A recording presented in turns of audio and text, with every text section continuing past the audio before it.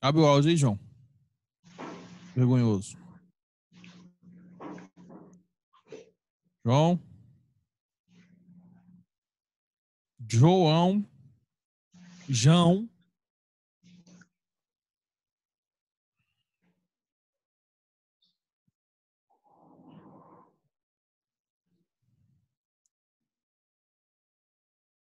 Abre o áudio, moço. Dá, dá, mais, é, dá para resolver mais rápido. Por que vocês têm esse medo de abrir áudio? O, a- o microfone de vocês é tão ruim assim?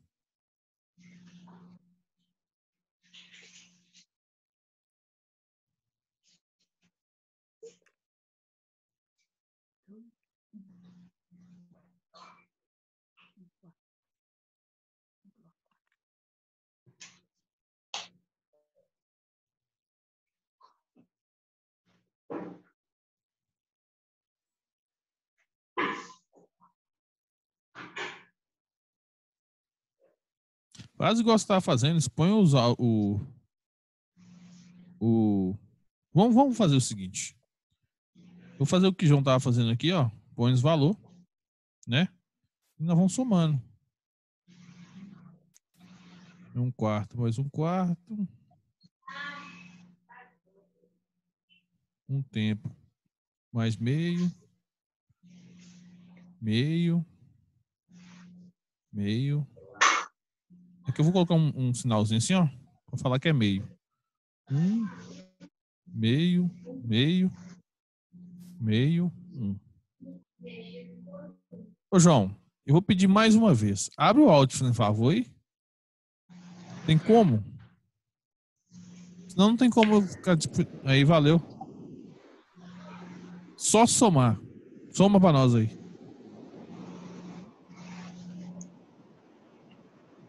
Soma aí. João?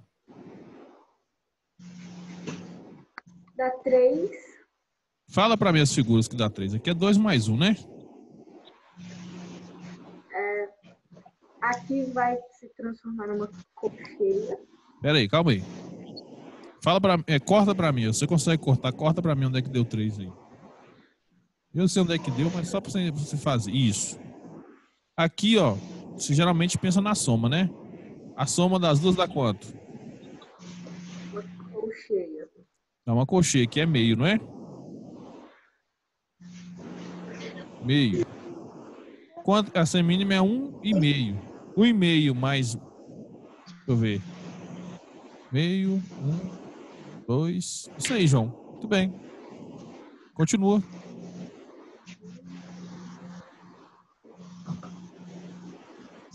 Só você pensar nesse agrupamento aqui como um, viu? É bem fácil, ó. Toda vez que você vê duas cocheias é um tempo. Pensa assim. Isso.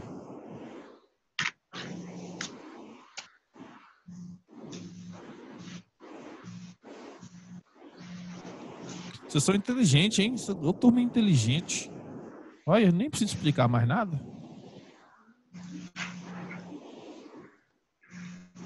Mas você errou aí, né? Por quê? Meio mais um e meio mais meio dois. Tá faltando um tempo ainda. Isso. Pronto. Alguém não entendeu? Ô, ô, João, parabéns. É só fazendo esse exercício que dá para saber se vocês estão compreendendo ou não. Certinho. Só somar os valores das figuras e continuar. Alguém me fez uma pergunta? É, fica- Não, esquenta não, mano. Tá bom demais. Certinho. Sete e meio. Mais um. Alguém tem alguma dúvida nessa questão? Aquela, essa outra aqui, ó. Depois eu vou passar mais exercícios sobre 6 por 8. Mas depois a gente vai passando isso aqui. Alguém tem alguma dúvida disso aqui? Não, né? Então, vou passar para frente. É... Liz. Vamos fazer essa 4 por 8 aí, Liz? Eu não vou pedir Fátima, Fátima, porque você não viu a matéria. Mas depois a gente vai. Eu quero que vocês façam alguns exercícios. A Yasmin também, eu não sei se ela viu. Você viu, Yasmin? compasso todo? A Liz viu. Liz.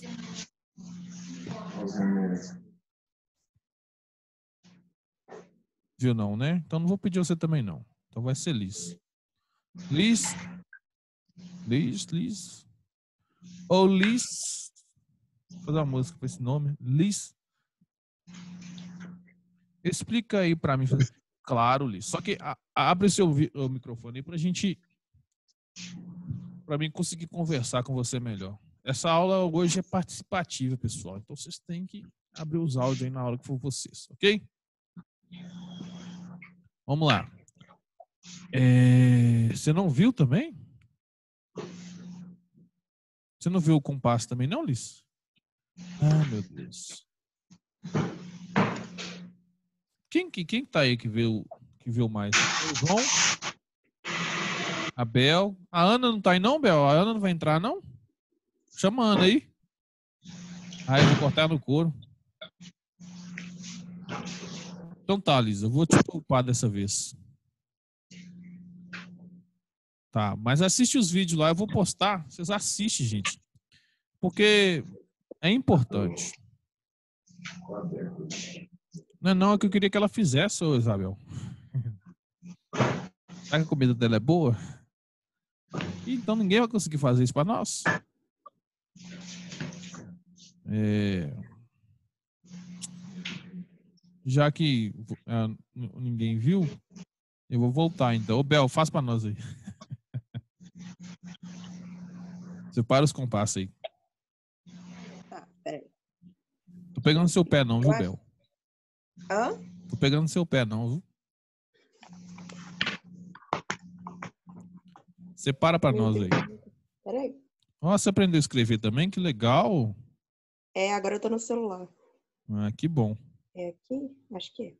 Só para só pra, você encaixar o raciocínio, nós temos quatro tempos e a figura colcheia vale um tempo, né? Lembrar raciocinar Uhum. aí. Igual a um.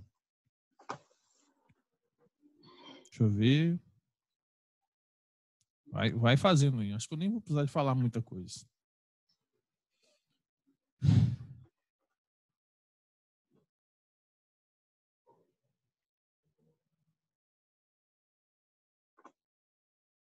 Nossa, Bel, É. você tinha que fazer tão rápido? Que isso?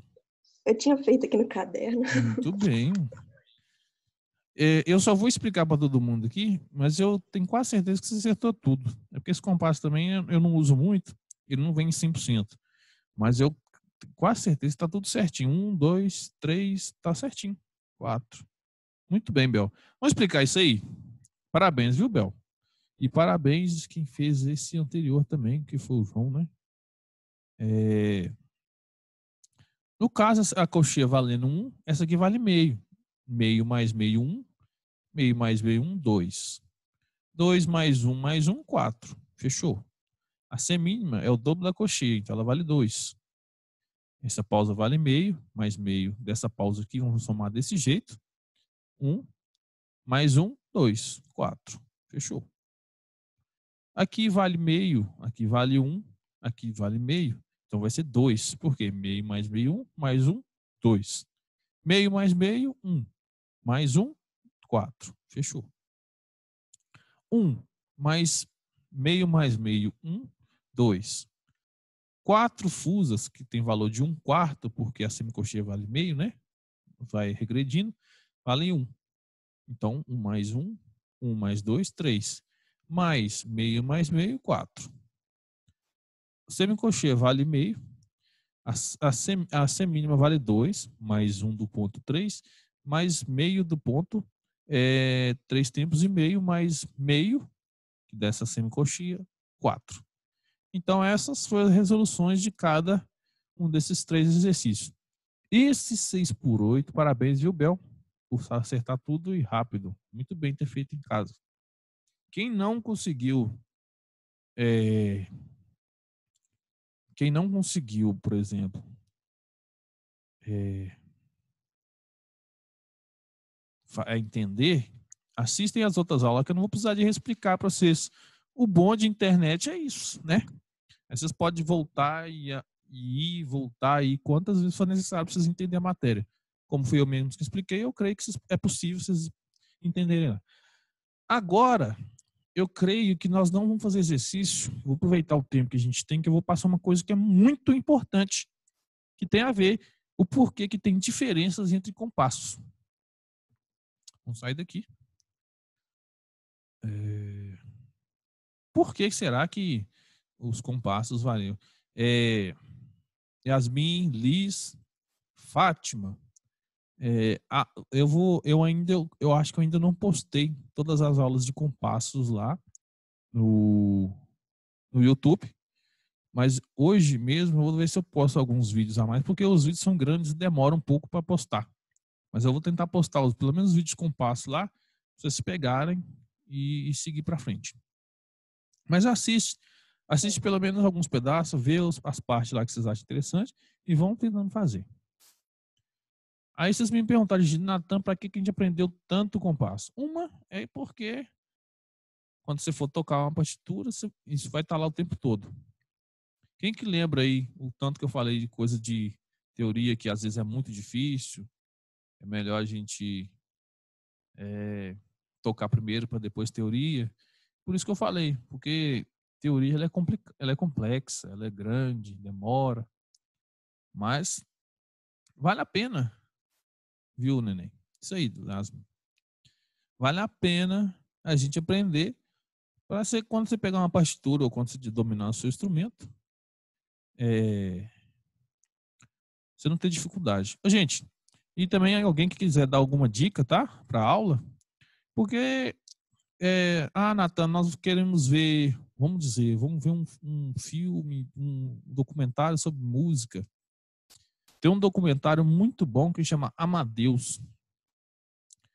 É, eu vi, Yasmin. eu vi. Eu, até tem seu nome aqui, boba. Mas beleza, assiste lá. Eu vou tentar colocar os vídeos lá e eu vou colocar para você. Tem um documentário que chama Amadeus e tem um documentário muito bom também de Beethoven. Depois, se vocês quiserem, até mando para vocês. Só tem um tempão que eu assisti o, o sobre esses compositores antigos, o que, que, eles faziam. É legal. Tem, um, tem uns filmes que é muito bem feito tem muito, umas histórias muito interessantes. A de Beethoven mesmo é uma, uma história muito boa, porque ele é um, um dos melhores músicos da existência até hoje para nossa nossa nosso mundo e ele ficou surdo depois que depois que ficou mais velho. Quando ele ficou famoso ele ficou surdo. E mesmo assim ele conseguiu compor uma das melhores músicas que existem até hoje que chama a nona sinfonia aposto que vocês já ouviram falar dessa nona sinfonia. É uma música muito linda. Só que a nona sinfonia não é um pedacinho é uma música de uma hora e meia se eu não me engano. Outro dia eu estava lendo um, um relatozinho. Por que, que um disco tem aquele, aquela, aquele tempo determinado?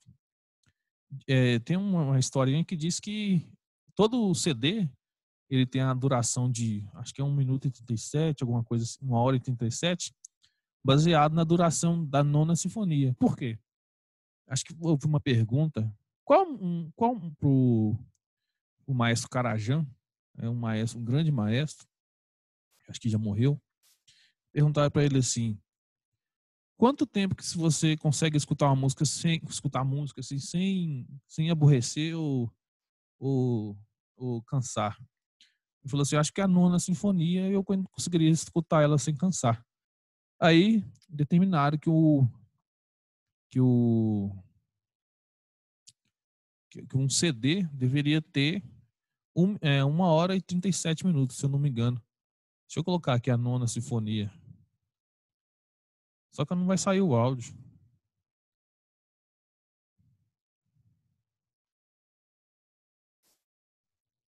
Acho que vai sair. Eu tenho que colocar o microfone, que ela tem uma hora e 21, se eu não me engano. Não vai sair o áudio, não. Olha vocês escutam aí.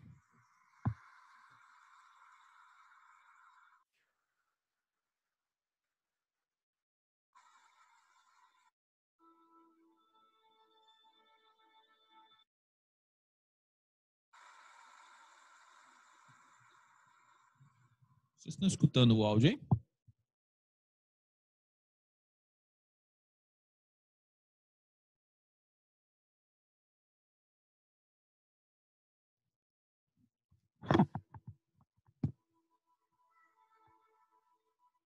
E agora, olha.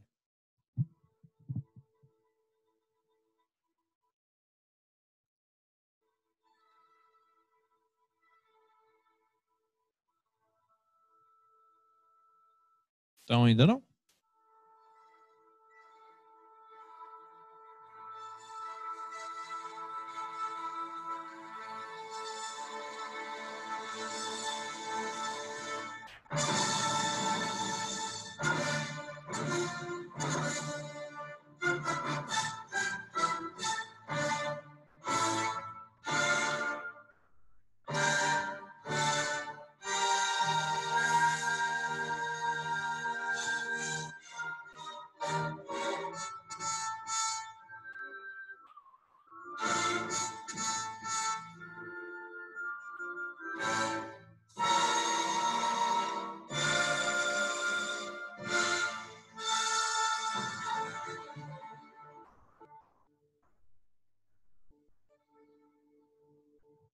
No final dessa música, que é, é um movimento, mas são quatro movimentos, né?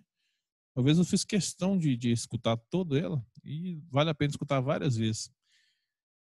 Quando é, a gente vive, vive, vive no, no, hoje em dia a gente mal tem paciência para escutar um, uma música de um minuto, dez minutos, seja o que for. Só que essas músicas elas são diferentes, ela tem uma hora e meia, duas horas. Tem vezes que elas são grandes pra caramba.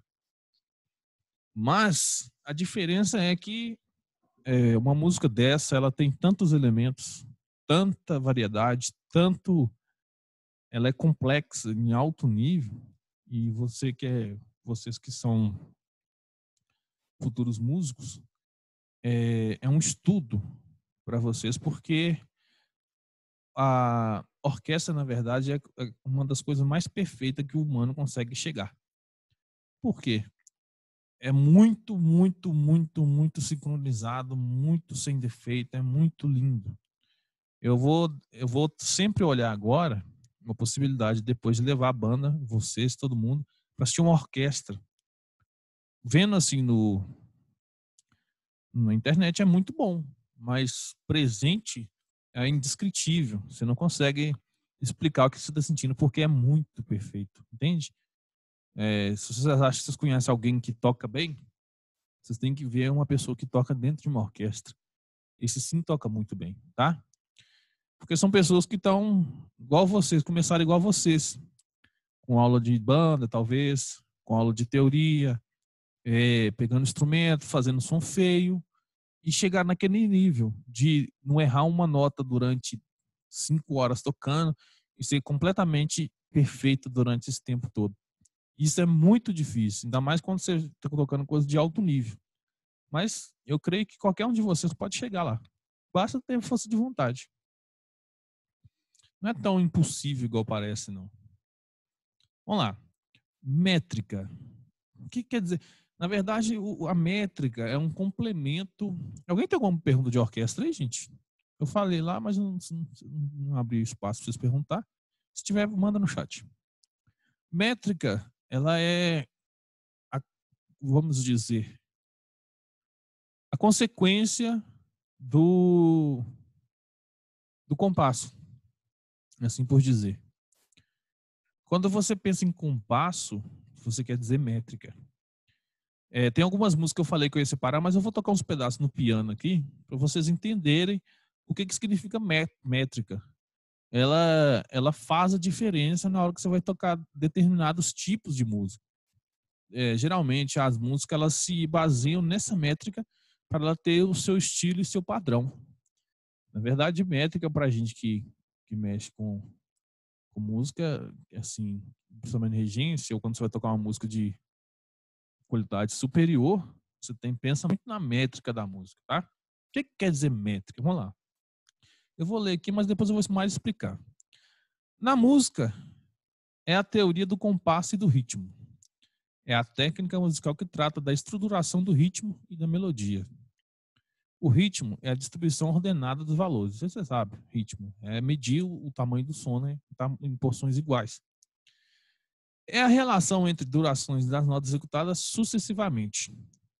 O compasso separa os valores com acentuação periódica alternando-se entre forte e fraco.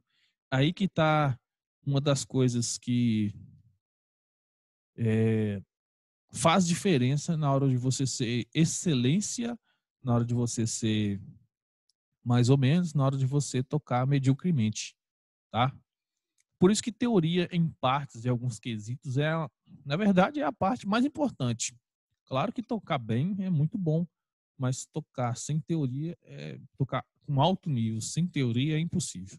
Você tem que entender de muita coisa para conseguir tocar com qualidade, sabe? Claro que tem gente que nasce com aquela facilidade de absorver o que a música tem.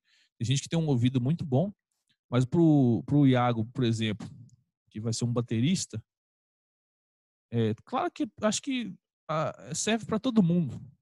Mas o, o, o, fundamental do instrumento dele é saber essa diferença entre forte e fraco. Onde que ele fica? O que que significa isso? Tá?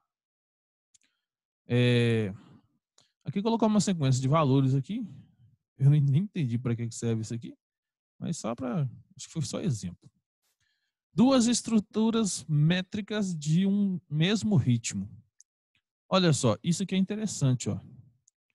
Aqui nós temos o compasso 3x4. Primeiro, eu vou explicar o que, que significa métrica. Depois eu vou tocar isso aqui para vocês verem qual que é a diferença de tocar com 3x4 e de 4x4. Acho que vocês vão até gostar de saber, porque vocês estudaram tanto compasso e não sabem por que talvez tem dois, tem três ou tem quatro ou cinco. Mas eu queria chegar nessa parte para me explicar justamente isso. Vamos lá. Na verdade, todos os compassos eles têm suas é, predeterminações, né? Aqui eu não sei se vai ter os exemplos para mim. Deixa eu ver se tem. É...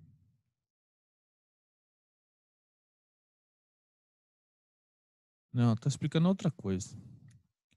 Mas vamos pegar. É, não vai dar. Não. Vamos, eu quero explicar primeiro, para depois vocês entenderem. Vou sair desse, desse quadro e para aquele quadrinho branco para nós. Aqui. O 2, o 3 e o 4. Vamos pensar nesses, nesses três aqui primeiro, porque é os mais comuns que tem. O F quer dizer forte, grande forte. E o Fzinho é de fraco, tá? Dar um tiro aqui. Se for em mim, errou.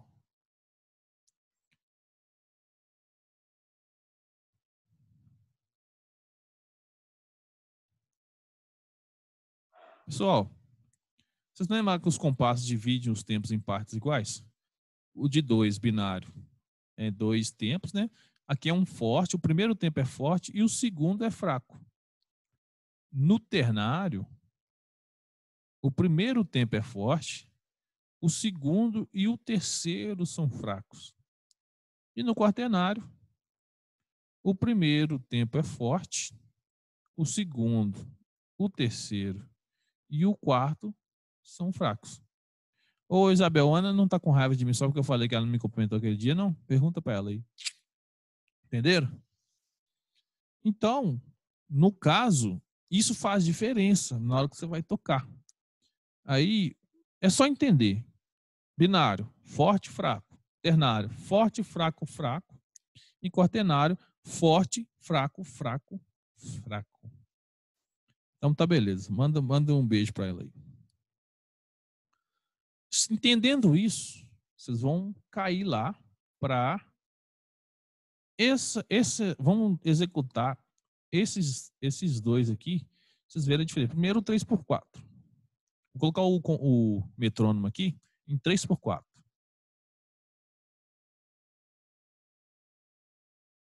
Na verdade, não. Acho que vou por semitrônomo, vocês entenderem primeiro. Ó. Primeiro eu vou executar o 3x4. 1, 2, 3.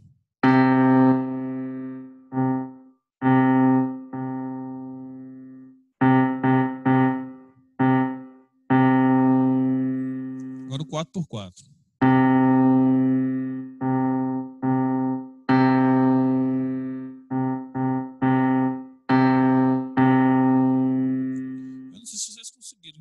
Diferença. Agora eu vou colocar com metrônomo é, é- é bem sutil a diferença, tá?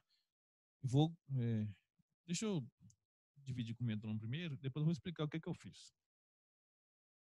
O 3x4 primeiro, ó.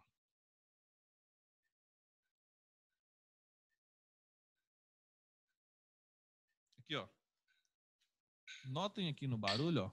Tem um barulho que é diferente. Esse é o primeiro tempo, ó dois, três. Um, dois, três.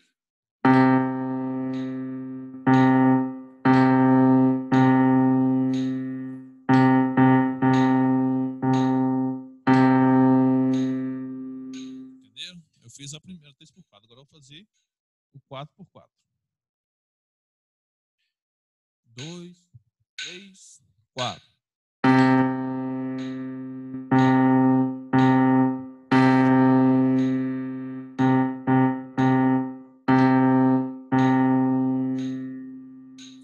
Você vem me fala, Natan, eu não senti diferença nenhuma. Hum, eu não vejo diferença em nada. Beleza. Mas dependendo do, do compasso que você usa, ah, descaracteriza a música igual mesmo. Nesse compasso 3x4 mesmo, ele é característico de valsa. No compasso 4x4, ele é característico de vários ritmos, como eh, bolero, eh, MPB no geral, rock. Esse 4x4 ele se enquadra em muitos estilos. Se você pegar uma música, eh, vou colocar um rock 3x4, pode ser que saia um rock, mas vai ser um rock bem diferenciado, entende? Ele não vai estar na estrutura correta e vai causar estranhamento. Por quê? O que, que eu fiz ali? Essa nota é forte. Essa nota é forte. Essa aqui é forte e essa também é forte. O restante é fraca. Aqui é, o, aqui é em outras notas, olha. Essa nota é forte, essa é forte e essa é forte. Entenderam? Dependendo do estilo que você coloca aqui, varia a execução. Tem uma música mesmo, aquela. Pam, pam, pam, pam, tam, tam, tam, tam, tam. Pam, pam, pam, pam, pam, tam, tam, tam. Aquela Missão Impossível. Ela tem um. um, um... Aí já vai acabar, gente. Ela tem uma métrica diferenciada, eu não sabia. Ela é, acho que ela é 9 ou não sei quantos por, por 8 lá. E ela mantém a meta. A, a música tem a, me- a, como se fosse assim. Essa, essa, essa melodia que eu, que eu falei, ela mantém a métrica que é do compasso. Então, quer dizer que praticamente ela é o, o, a fração que caracteriza a música do, do Missões Possível. É bem legal. Depois eu vou mostrar vocês. Então, o que eu queria dizer é, é- é simples, vocês entenderem. O primeiro tempo é forte, no compasso 3, e o segundo e o terceiro é fraco. No 4x4, o primeiro é forte e o segundo e o terceiro é fraco. O, primeiro, o segundo, terceiro e quarto tempo é fraco. Lembrem-se disso, tá? No compasso binário, o primeiro é forte e o segundo é fraco. É, na verdade, é só isso. Não tem um, um- um grande explicação. Vai lá. As indicações de compasso e suas subdivisões correspondem à métrica, à forma ritmo. É um agrupamento de valores que faz sentido musical. Mínimo ritmo. Uma espécie de sílaba musical. É a- uma fórmula rítmica mais reduzida no mínimo dos dois valores. Tem umas vezes que esse Brumil, ele manda uns inglês muito pesado, né? Tem hora que eu, eu leio isso aqui que realmente nem eu entendo o que está falando aqui. Mas vamos simplificar o que diz aqui. Tem hora que é o seguinte: tempo inteiro, aquela métrica, por exemplo, no binário aqui, ó, é forte e fraco, né? Quando você vai para a parte de tempos, que são figuras menores do que um, a, a primeira parte do tempo é forte e o restante é fraca. Uma cocheia mesmo. Só que isso aqui, gente, é coisa natural, tá? Você não força a nota para ficar forte, não. Ela é naturalmente assim. A primeira nota é fraca, a segunda é, a primeira é forte, a segunda é fraca. Numa semicocheia, a primeira é forte e as demais são fracas. Isso aqui é uma, é uma natureza da música. Primeira forte e as demais fracas. Tá certo? Entender isso é uma questão de, de técnica que vocês vão desenvolver durante é, a música. Diversas formas rítmicas aqui, ó. Primeira forte, primeira forte, aqui é ter parte de tempo, né? Primeira forte, ritmo ternário. Olha lá, essa aqui é a primeira forte, forte. Essa aqui é forte, mas não é tão forte igual a mínima. Forte, por aí vai. Ok? Vamos lá, passar para frente. Eita. Eu não, não vou explicar tanto isso, porque na hora que você, vão to na hora que você estiver tocando, quer ver? Eu vou tocar uma música aqui em 4x4 primeiro, e depois vou tocar uma música em 3x4. É, geralmente não são os ritmos mais diferenciados, tá? O 2x4 também, ele é bem característico. O, vamos, eu vou primeiro com 4x4, ó. Olha só como é que fica.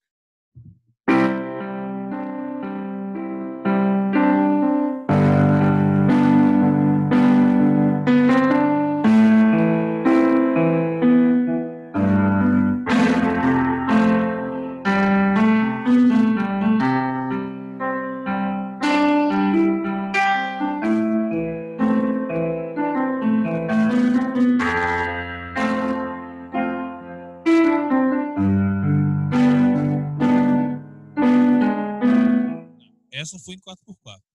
Eu vou passar ela para 3x4.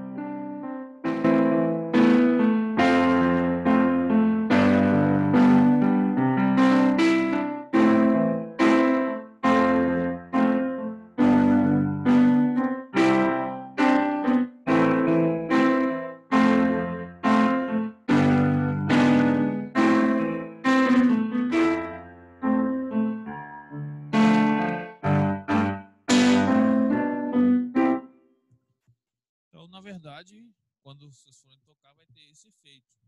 Vai variar onde está o, o, pulso e o impulso, tá? Depois eu vou explicar muito detalhadamente o que, é que significa isso, pra vocês compreenderem na hora que vocês forem tocar. Só que nós vamos ver isso com o pozole, tá bom? É, mas é muito importante vocês saberem. Na verdade, tudo que vocês vão aprender que é importante. Então, nem adianta ficar falando isso. Olha lá. Ó. É, é muito importante é... é muito importante não somente grafar a duração exata dos valores, mas também visualizar os tempos e partes dos tempos. Olha só. Na verdade, isso aqui, esse pedacinho aqui, ó, vamos parar aqui um pouquinho para vocês entenderem como, como funciona. Nossa, tá dando cada choque. Como que funciona é, o desenho da partitura. Ela tem esse desenho, tá vendo? Ó?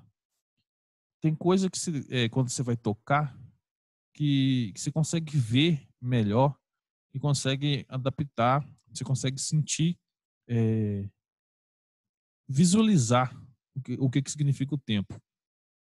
Olha só, geralmente o, o tempo você vê ele em, em, em as, o desenho das figuras, elas representam melhor o tempo.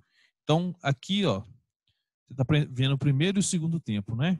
primeiro tempo é a cocheia, metade da semínima, e o segundo é metade da semínima e a cocheia. Isso é difícil de ver quando você está tocando. Melhor, olha, você vê. Aqui é muito fácil. O primeiro tempo e o segundo tempo, quando você estiver tocando. Aquelas estão ligadas, vai ter um efeito que depois eu vou explicar o que é isso, que é síncope. Mas muito melhor você ver isso aqui, ó. Então, é um desenho que ela segue. Geralmente, as figuras seguem o desenho do tempo, tá? elas não se agrupam. Quando você vê um grupinho, geralmente de duas, três ou quatro figuras, duas figuras ou quatro, elas formam um tempo. Nesse caso aqui também elas formam um tempo, porque meio, um quarto mais um quarto, meio. Olha só, elas agrupam, geralmente os programas de música, eles agrupam o, os tempos para facilitar a leitura. Primeiro tempo e o segundo tempo. Então, quando você for tocar qualquer partitura, você lembra disso. Os tempos eles, eles dividem é, o desenho. Olha, você vê que não está dividido bem. E aqui está primeiro e segundo tempo. Primeiro e segundo tempo. Aqui, ó, primeiro, segundo e terceiro tempo.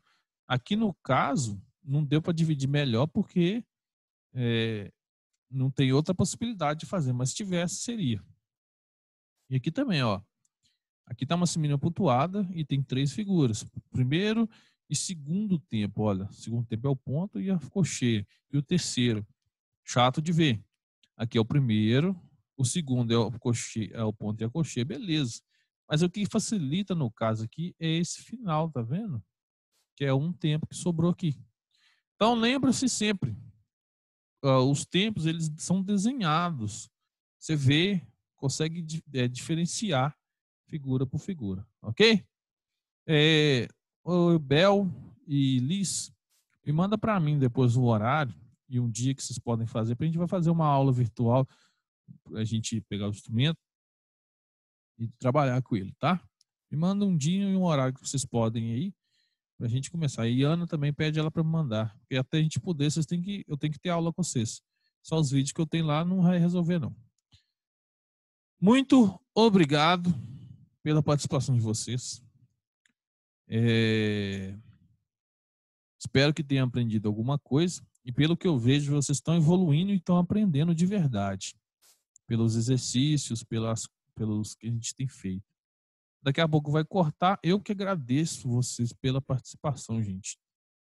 É, a continuidade da banda depende dessas aulas, tá? E se Deus quiser, daqui a um tempo a gente não vai precisar muito disso. Mas eu creio que a gente não precisa acabar com aula teórica, não. Por quê? Nós vamos chegar num nível que vocês vão poder aprender matérias avançadas, como improvisação, como criação de partitura,